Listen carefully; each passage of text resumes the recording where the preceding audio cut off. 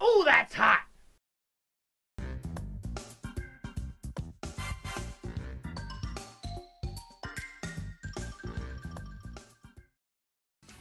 I got a story to tell you guys tonight too. So, oh yeah, oh it's a red.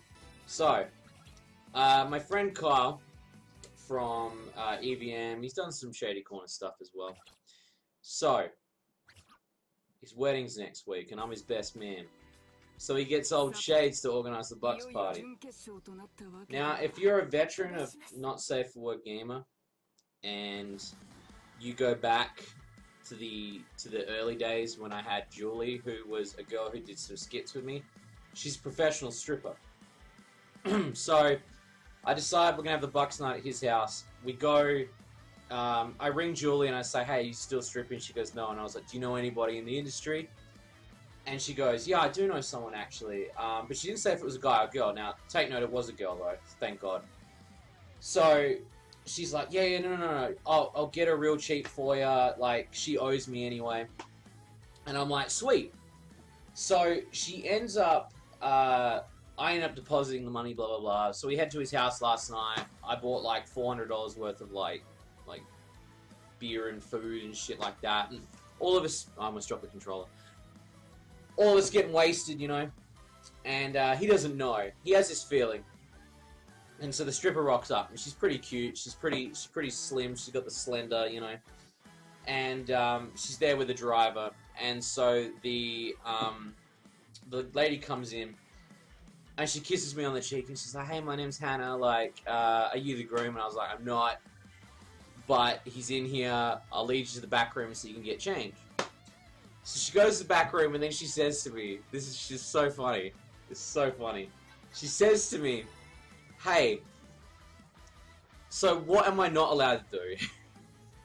and I'm like, well, I don't know. What don't you want to? What What do you do? Like, what's your thing? And she goes, well, I was gonna do a normal strip, like make it really nice, but I brought candles with me, and I was like, oh. And she's like, yeah, and I brought like wax, and I brought, uh, well, I could whip him with a belt. And I was like, you know what? Just go nuts on him. And she's like, really? I was like, just just fuck him up. Which was the worst thing I possibly could have said, okay? Now, there was a lot of stories happen from that night, but this is like... This is the pinnacle, okay? So, he gets out there, he's... And I've dressed him up in this, like, um, 70s outfit, this really ridiculous outfit, which is great, because I was great that it was, like... It's gonna get destroyed she comes out and she's like grinding on him and shit, and we're like, we're all like, oh man, this is like, this is you know getting, you know, it's getting pretty, you know. And you know, she gets her tits out and stuff, and she gets naked, and she starts like thrusting into him and shit. And I was like, oh, that's pretty standard, pretty standard. And then she grabs his head and throws it over the chair, grabs a belt, and she fucking winds up, and she just goes, how many? And someone just yells, five. And she's like, okay. Whoosh. And I'm not, and she pulled his underwear and his pants down. So his ass, after one, was like bright red. It was, it was as red as my logo. Whips him five times, okay? And he's like in fucking pain. He's screaming. And I'm like, and everyone's like, Ross, what the, what the fuck, Ross, what the fuck? And I'm like, I don't know. I don't know what she's doing. But part of me's like, I kind of want to see where this goes, right? So then she lights these candles, right? And she's making that cook up. She's still whipping him and shit. And I'm like, holy fuck, she's wrecking him. Her girlfriend's gonna kill me. so then she lays him on the floor, rips his shirt off, right? And then gets the wax strips, put, and he's hairy as fuck puts them over his nipples, and then pulls his underwear down and puts them on his pubes. And then just fucking rips it off. And I was like, first of all, I'd seen his dick, and I was like, second of all, it was like, it was fucking, like, I felt the pain. His fucking pubes get ripped off, and there's just fucking, there's hair everywhere. Then he gets put back on the chair again. He gets another lashing. How many?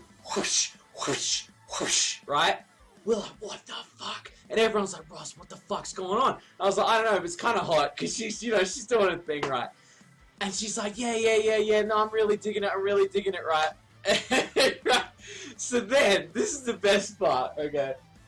So then she gets the candle, right? And I'm like, oh man, she's gonna like drip a bit of candle, do a bit of Fifty Shades of Grey, right? So she grabs the candle and starts like pouring on his tits, and it's fucking boiling. And he's like, ha ha ha ha ha. And I'm like, oh my god.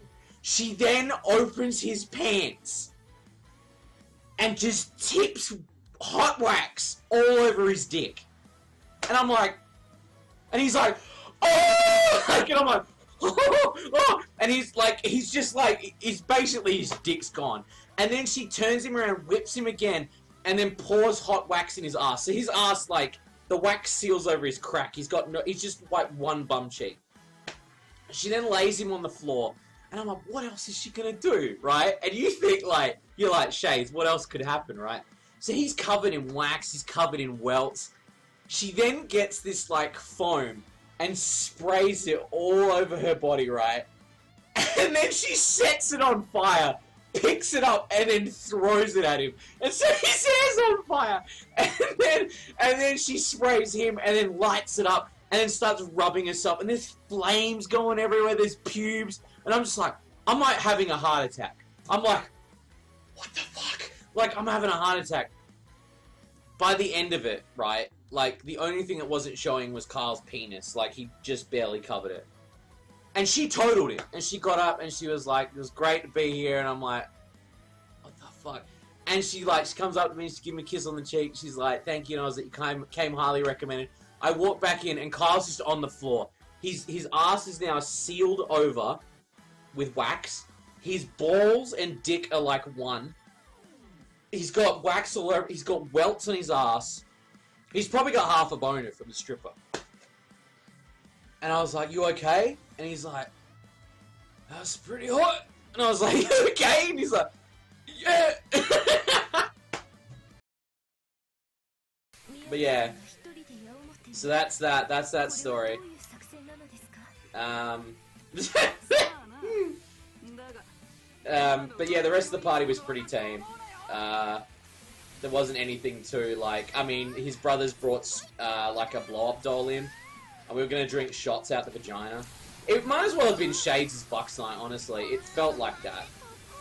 Um, but the stripper was the highlight, and everyone was freaking out because they're like, Ross, how much did you? Because we all put money in, and they're like, how much was this? And I was like, it was actually standard price. She just did this as a favor because she's a friend of a friend of mine. It was intense. It was so insane.